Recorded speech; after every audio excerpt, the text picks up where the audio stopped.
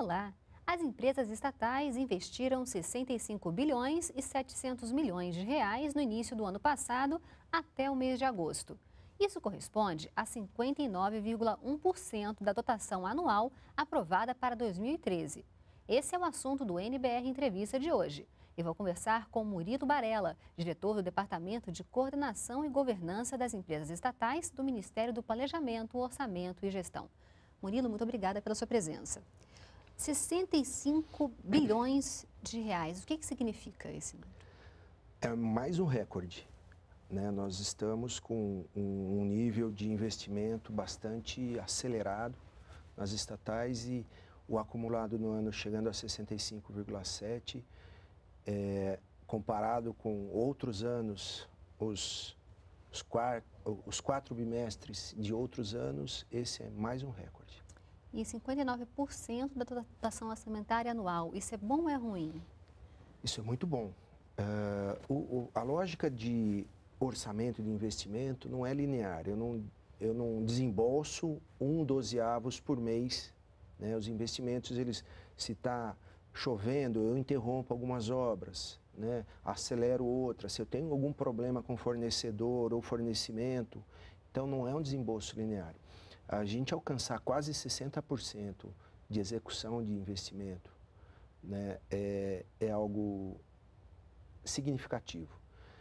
Também um destaque sobre isso é interessante lembrar que as previsões desse orçamento de investimento, desse, dessa dotação que a gente está conseguindo executar esse ano, é, essas, esse orçamento foi feito no início do ano passado, até meados de 2012, num outro contexto macroeconômico, num, num contexto internacional diferente.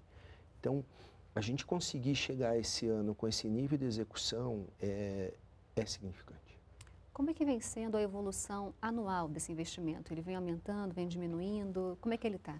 Nós estamos num, num recorde atrás do outro. Se a gente considerar o acumulado em 12 meses, uh, a gente está com mais de 105 bilhões de reais. Então, se a gente está com agosto agora, a gente soma mais quatro meses do ano anterior, a gente acumula 105.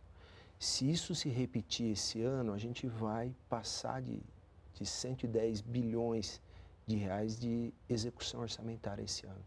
Então, é um, um crescer, é um evoluir bastante convincente. E como é que a gente vai explicar para o cidadão o que, que representa essa execução orçamentária das estatais? É, obrigado pela pergunta, Luciana. Isso está no cotidiano de, de cada cidadão. Nós temos dentro das estatais é, o setor de energia, né, Petrobras e Eletrobras, que é pré-condições para uma série de outros negócios na economia. Transporte, educação, se a gente não tem energia, como é que a gente vai abrir escola? Então, isso está no cotidiano dos cidadãos. Se a gente não tem a, a, a, o refino do petróleo, o asfalto, né?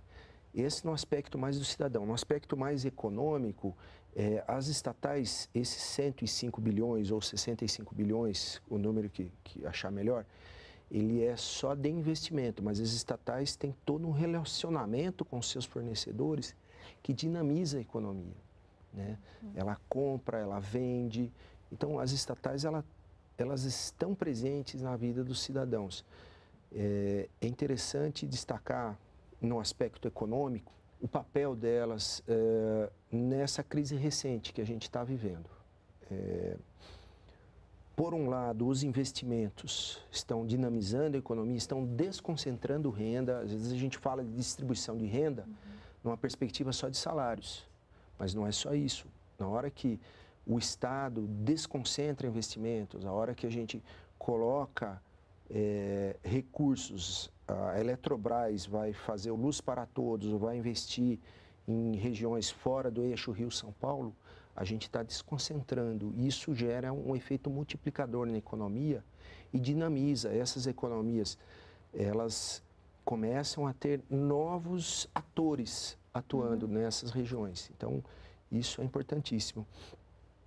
A gente fez isso com as estatais no momento gritante da, da, da, crise.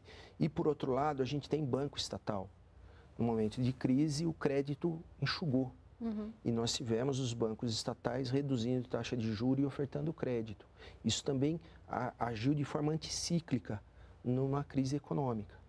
Então, a gente tem uma, é, um mecanismo importantíssimo para poder atuar na economia, não de forma normativa, não de forma é, que desequilibre, mas sim que favoreça um equilíbrio econômico e uma, uma, uh, uma dinamização virtuosa da economia.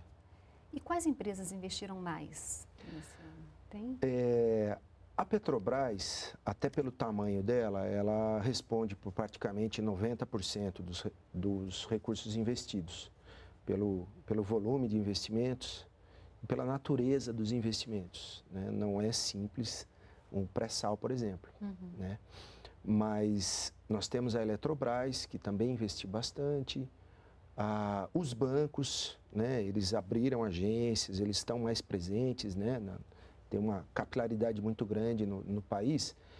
E uh, é interessante destacar a Infraero. A Infraero até agora investiu quase um bilhão de reais, 885 milhões de reais. Isso na melhoria dos aeroportos? Na melhoria dos aeroportos. Isso esse ano. Só esse ano. Só esse né? ano. E a gente não está computando as concessões. Isso é só Infraero. Uhum. Então, nós temos sim em é, em arrancada, em evolução, os investimentos. E isso está fazendo e vai fazer muita diferença para o cidadão.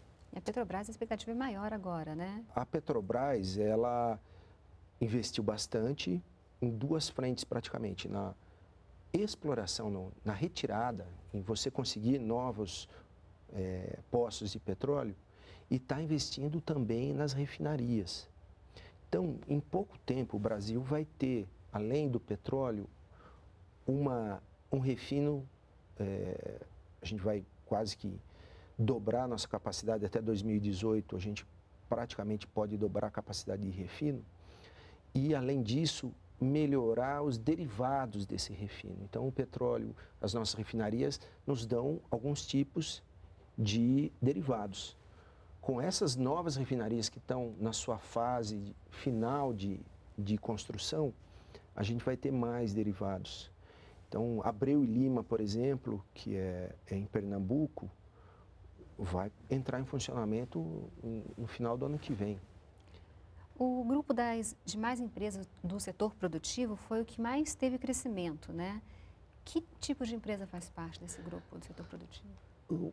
Nós temos aí a Infraero, nós temos a, as docas, Uhum. É, docas, por exemplo, essa, essa reestruturação do, do setor portuário está é, implicando também mais investimentos. Né? As uhum. docas investiram bastante, elas, é, o, a melhoria dos portos. Então, não é só uma perspectiva regulatória que vai resolver o problema do setor. Nós temos que ter investimentos reais lá, né? em economia real.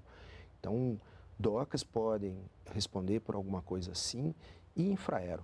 A Infraero foi a grande uh, boa surpresa, o grande bom recorde. Ela melhorou muito sua capacidade de investimento. E a gente pode associar mais investimentos, aumento de empregos? Sim, uh, investimento tem uma correlação direta praticamente com emprego. Quando eu falei que a, as estatais elas dinamizam a economia, é, na hora que a Petrobras está, ou a Eletrobras está uhum. Tá construindo uma linha de transmissão. Ela está contratando empresas, ela está contratando gente. Né? Essas empresas vão contratar a gente também. Né? É, e é um canteiro de obras que vai desde engenheiro, mas também o servente de pedreiro. Né? E a, a Petrobras, por outro lado, no, se a gente falar só de. Não, não precisa falar só do emprego é, mais básico, de, de, mão de obra não especializada. A uhum. Petrobras ela dinamiza toda uma área de tecnologia do país. Ela envolve cientistas, envolve engenharia sofisticada, inovações. Isso é qualidade de emprego também. E Murilo, o que, que vem contribuindo para esse aumento de investimento nas estatais? Olha, a gente uh, pode acreditar bastante disso a gestão. Né? Uhum. Obviamente, existe uma vontade política de que se exista estatal e que ela cumpra o seu objeto social. Isso por si só é um, uma grande diferença. Por outro lado, as empresas também responderam a essa demanda, né? Olha, estatal, você tem que cumprir seu objeto social. Eletrobras, você precisa investir em linhas de transmissão, o país precisa disso. Petrobras, precisamos de mais petróleo. Embrapa, precisamos de mais pesquisa. Então, isso é, foi a demanda. Então, isso provoca investimento. E elas conseguiram, essas empresas conseguiram responder com competência, com capacidade de execução. Em paralelo, a perspectiva burocrática também evoluiu. Né? Ah, o Congresso aprovou é, leis e aprova os orçamentos né, de uma forma bastante é, convicta de, da importância desses investimentos. A gente lá no Ministério do, do Planejamento, na hora de orçar, a gente melhorou, evoluiu. Né? Então, nós temos uma curva de, de, experiência, um ponto de maturidade importante nesse modelo que engloba estatal para investimento. E qual é a posição do Brasil em relação a outros países, em relação ao investimento de estatais? Olha, ah, eu não tenho esse dado comparativo, até porque empresas estatais hum, com a configuração como a do Brasil, não tenho. É, a gente tem que, ah, se não fossem os bancos públicos e os investimentos que as estatais fizeram, nessa crise recente, a gente teria um problema sério. Esse é um comparativo internacional. O custo fiscal do nosso ajuste, da nossa resposta à crise, foi baixo. Por quê? Porque a gente teve banco público para reduzir taxa de juros e conseguir dar resposta, e teve, por outro lado, uma série de investimentos para dinamizar a economia. Te dando um exemplo comparativo, a Inglaterra, ela, ela injetou dinheiro público em banco privado. Uhum. Né? Nós não precisamos disso. Nós, é, então, saiu dinheiro do, vamos assim dizer, do tesouro inglês direto no cofre no banco privado. No Brasil isso não aconteceu. Tá ótimo, Murilo. Muito obrigada pela entrevista. Eu que agradeço. Outras informações no site do Ministério do Planejamento, Orçamento e Gestão. E se você quiser rever esta entrevista, já sabe, é só acessar o endereço eletrônico que aparece aí na sua tela. Muito obrigada pela companhia e até o próximo programa. Continue aqui na NBR, a TV do Governo Federal.